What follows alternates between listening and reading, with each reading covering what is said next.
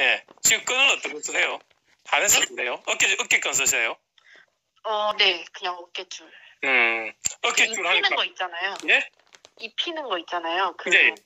네, 그거요. 옷같이 생긴 거. 아, 예. 그, 끈 위치가 어디 있어요? 끈 위치요? 예, 고리 위치. 위치, 고리는 한 등 쪽에 있는 거 어깨 쪽? 그죠? 약간 앞쪽에 있어요? 네. 약간 뒤쪽에 있어요?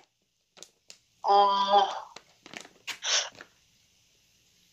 그 약간 앞쪽에 어깨. 어깨라는 건 이제 목, 목 쪽에 좀 가까워요? 아니면 약간 목에서 뒤로 약간 밀려 있어요? 목에서 뒤로 밀려 있어요. 그렇죠. 그게 안 좋은 게 뭐냐면요. 네. 신호를 전달하기가 좀 어려워요. 음, 그러니까 우리가 목걸이를 당기면 신호가 좀 쉽지만 서로 둘이서 이렇게 당긴다는 게 확 당기는 게 아니고요. 네, 이제 TV에 강영욱이가 나오잖아요. 네. 강영욱은 이제 왜 그걸 싫어하냐면 확 당긴다고 생각해서 싫어해요. 아, 당길 때는 우리가 어깨 가방을 당기면 무리가 들어가잖아요. 네. 근데 목을 확 당기면 사람이 목이 확 꺾여버리잖아요. 음, 그래서 그걸 싫어하는 거예요. 근데 제가 이제 목, 목줄을 쓰든지 조금 고리가 앞쪽에 있으면 좋다는 거는 뭐냐면 네. 금방 제가 설명했잖아요. 확 당기지 말라고 교감을 해라고. 음, 또 교감을 하기에는 어디가 좋아요? 어깨에 가방을 가방에 고리를 맨 게 교감이 좋아요. 목걸이에 서로 실을 가지고 딱 만지고 있는 게 교감이 좋아요. 음, 목걸이. 목이 훨씬 교감이 좋죠, 목에. 네. 나는 걔한테 힘을 쓸 게 아니기 때문에 음, 목이 더 훨씬 편하다는 거예요. 더 교감 나누기는. 음, 내가 막 잡아 당겨야 되면 어깨 쪽에 두는 게 낫겠죠, 그죠? 음, 근데 이게 네. 어깨 쪽에 두니까 문제가 생겨요. 이게 출발점과 멈춤점이라는 게 있거든요. 네. 우리가 말을 타도 말이 딱 올라타면 잘 안 가요. 근데 출발점에 딱 서면 거기 무릎으로 살짝 눌러주면 가거든요. 아, 네. 예. 근데 이게 강아지도 마찬가지더라고요. 제가 키워보니까. 음, 끈이 위에 있는데 등 쪽에 있다 보니까 탁 들어버리면 걔가 딱 들리잖아요. 순간적으로. 네. 들었다가 놔버리면 멈추는 거잖아요. 네. 그게 멈춤 신호가 되더라고요. 음, 우리가 스테이를 하고 쇼에서 스테이를 하거나 미용을 할 때도 들었다가 딱 놓으면서 위치를 잡거든요. 네. 예, 왜냐면 옆으로 밀어서 잡으면 다리가 밀려버리니까 음, 우리 자동차도 만약에 있는데 옆으로 밀어버리면 타이어가 벗겨져 버릴 거 아니에요. 네. 예, 오토바이 같은 경우도 있는데 밀어버리면 옆으로 넘어져 버릴 거 아니에요. 네. 근데 들었다가 딱 나으면 제자리 딱 나아지거든요. 네. 예, 그럴 때나 이렇게 개를 드는 건데 산책하면서 출발하자고 하는데 땡기니까 이 끈이 들려버리니까 위로 중심이 잡혀버리잖아요. 다리가 안 뜨더라도. 네. 그게 멈춤 신호가 되는 거예요, 얘한테. 음, 그 약간 앞쪽에 있으면 가자 하고 당기면 사람이 앞에 있다고 치면 걔도 이렇게 위에 우리 옷 뒤, 뒤쪽 있잖아요. 목 칼라 뒤쪽. 네. 뒤쪽을 자꾸 당기는 게 되니까 약간은 그래도 앞으로 아, 가게 되잖아요. 네. 예, 근데 이게 약간 뒤쪽에만 조금만 뒤로 밀려 나오면 멈춤점이 돼버리더라고요. 음, 뒤에 들리, 들려버리니까 이렇게 달랑. 네. 사람도 그렇잖아요. 누가 이렇게 들었다 나면 가는 게 아니고 탁 멈춰지잖아요. 땅에 내리는 순간. 네. 실험할 때도 우리가 보면 배지기 한다고 확 들었는데 나면 딱 땅이 멈추잖아요. 일단은. 네. 떨어진 사람이. 네. 예, 그렇게 돼요. 애기들 데리고 장난칠 때도 안았다 딱 놔주면 땅에 딱 서죠. 그냥. 뛰는 게 아니고. 네. 네. 그렇게 돼버려요. 음, 멈춤점이 된다고요. 근데 앞쪽에서 당기면 우리 손잡고 당기는 것처럼 가자 가자 이렇게 되잖아요. 네. 그래서 어깨 끈을 꼭 써야 되면 고리가 앞쪽으로 오는 거. 아, 아니면 고리 자체가 가슴 쪽에 있는 거. 음, 예, 아니면 목줄을 쓰셔도 좋아요. 확확 당길 게 아니니까. 네. 예. 근데 어깨줄이든 목줄이든 강아지가 이렇게 당겼을 때 빠지면 안 되기 때문에 산책할 때는 약간 더 타이트하게 쪼아줘야 돼요. 아, 네. 예, 머리 크기를 고려해가지고. 목이 가늘고 머리가 크면 괜찮은데 목은 두껍고 머리가 작으면 빠지잖아요. 네. 그걸 감안해서 조절해줘야 되거든요. 음, 네, 네. 그것만 조절해주시면 그리고 산책할 때 속도만 조절해주시고 교감을 한다 느낀다 생각하고 낚시나 연 날릴 때처럼 음, 그렇게 잡고 가시고 가다가 어느 정도 가고 나서 쉬면서 nose work 시키고 음, 그 시간도 뭐 짧게도 했다가 조금 길게 됐다 너무 길게 할 필요 없어요 근데 네. 대소변을 혹시 밖에서 보나요? 아니, 대소변은 집에서도 보고 밖에서도 예. 봐요.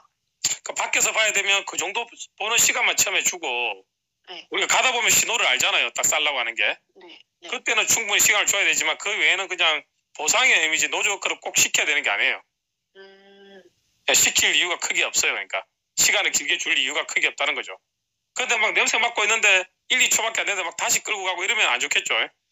1, 2, 5도씩 끌려가니까 예. 네. 그런 거는 시간을 조절해 주시면 되고요. 너무 길게 할 필요는 없다는 거죠. 음, 그렇게 산책을 하면 네. 눈도 마주치고 속도도 조절되고 교감을 해요. 선, 줄 하나로 나하고 교감이 돼요. 그러니까. 음, 네, 줄 하나로 내가 빨리 가는지 늦게 가는지 나중에 다 알게 되거든요, 얘가. 어, 네네. 예, 예. 그냥 말할 필요도 없이 나중에는 끈 느낀다고요. 손가락, 손가락도 음. 거의 다른 손가락을 이용해냈지만 두 손가락으로 잡고 실제로는 그렇게 할 필요도 없이 그냥 내 손가락 두 개의 힘만 가지고도 힘이랑 끌어당기는 게 아니고요. 네. 예, 예. 어느 쪽으로 무게가 조금 더 오뚜기로 치면 앞쪽으로 조금 더 가냐 뒤쪽으로 조금 더 가냐에 따라 얘가 움직이는 거예요. 네네. 이미 느껴버려요. 그 정도로. 음, 자꾸 산책할 때 줄을 두꺼운 줄을 쓰고 느슨하게 풀어서 산책을 하거나 너무 당겨버리니까 네. 그런 교감할 시간이 없는 거예요. 그냥 음, 서로 줄로 교감이 안 되는 거죠. 연날일 때도 그렇잖아요. 우리가 팽팽하게 했으면 교감이 딱 되잖아요. 전율이 딱 오잖아요. 네. 예. 근데 확 풀어버리면 그냥 연이 확 날아가 버리잖아요. 네. 예, 그런 느낌이에요. 그러니까 음, 낚시할 때도 이렇게 줄이 탕탕해야 입질하면 찌릿찌릿 전기가 오잖아요. 느낌이. 네, 네. 예, 그런 식으로 산책을 하는 거죠. 음, 제 같은 경우에 지금 쓰는 산책 줄은 이 운동화 끈 정도로 얇은 걸 써요. 아, 예, 근데 손 안 아프거든요. 네. 30kg, 40kg, 50kg짜리 끌고 가서 손이 안 아파요. 음, 저는 그리고 산책할 때는 주로 이제 소형견들은 그게 필요가 없고 그리고 또 나이가 있는 개니까 그게 필요가 없는데 네. 이제 중대형견들 같은 경우에는 choke chain이 훨씬 편해요.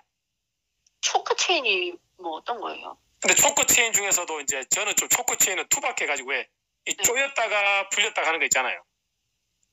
아, 그 쇠로 된 예. 그런 거 네. 말씀하시는 근데 이제 제 같은 경우에는 예, 예. 이제 쇠로 되고 무식한 초코 체인을 쓰는 게 아니고 예. 아주 가벼운 재질의 그 음, 목걸이 같은 그런 거 있잖아요. 예, 그러니까 남자들 근달들이 매는 그런 목걸이가 아니고 네. 여자들 목걸이 같은 예, 예. 둥글하게 이쁜 게 있어요.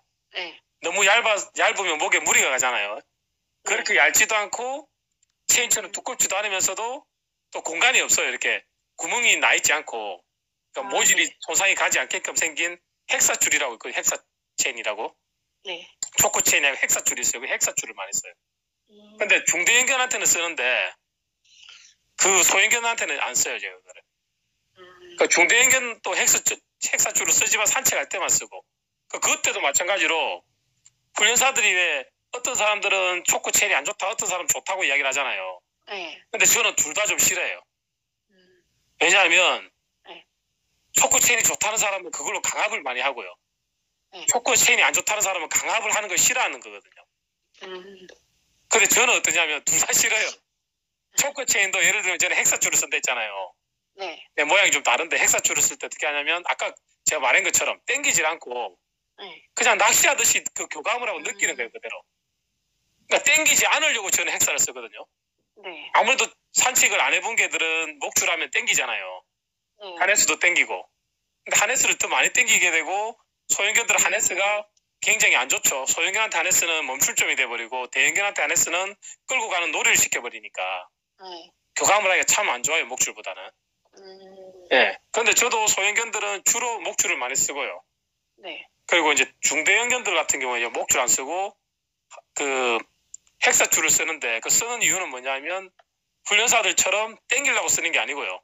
네. 안 땡기려고 쓰는 거예요. 어, 어, 그게 교감이 더 잘 돼요. 그러니까. 어, 그 탱탱하게 했을 때 나와버리면 확 풀려버리고 살 들면 목이 쪼이지도 않아도 아 이게 싹 오는 느낌이 출발하는 신호구나 이걸 알 수 있거든요. 음, 목은 당기지 않는데 목줄은 약간 당기잖아요. 네. 이거 당기기도 전에 고리가 쫙 오는 소리에 오는 느낌에 아 가는구나라고 안다고요. 아, 예, 그렇게 쓰는 거지 그걸 진짜 땡기지도 않아요. 그러니까 아, 훈련사들이 좋다고 하든 나쁘다고 하든 자기들은 그게 강압으로 쓰기 때문에 싫다 나쁘다고 하는데 제 같은 경우는 강압으로 안 쓰기 위해서 땡기지 않기 위해서 목줄보다 더 안 땡기기 위해서 그러니까 줄을 써요. 아, 네네. 완전히 다르죠 그러니까 쓰는 이유가 네. 예, 예 그렇게 쓰거든요. 음, 근데 이제 그걸 추천하고 싶지만 소형견한테는 필요가 없고 특히 두 살이나 돼서 산책을 잘하는 애한테는 그게 필요가 없어요. 음, 예, 그냥 목줄하는 게 훨씬 더 편할 것 같아요 제가 볼 때는 아니면 어깨줄을 하더라도 고리가 조금 앞으로 와 있거나 아니면 가슴 쪽에 있는 거. 네네. 야, 그리고 어깨줄 제가 보니까 네. 한에서 채운 것 보니까 이렇게 줄이 팔이 걸리거나 이런 게 많아요. 그러니까 겨드랑이 이런 데 쓸리는 현상이. 아, 네. 그리고 말티 기 늘어뜨려 놓으면 기도 쓸리고 어깨도 쓸려요. 팔도 쓸리고.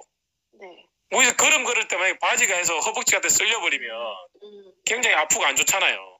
네. 걔도 겨드랑이 쓸리는 거예요. 그러니까. 아, 힙이 근데 사이즈가 안 맞아서 막 어깨 쓸려버리면 겨드랑이 쓸려버리면 약한 피부 상하잖아요. 네. 그런 걸 많이 봐요. 음, 그래서 꼭 어깨줄이 좋은 게 아니에요. 그러니까. 아, 그리고 어깨줄이 둔, 둔감하죠. 민감하지가 않잖아요.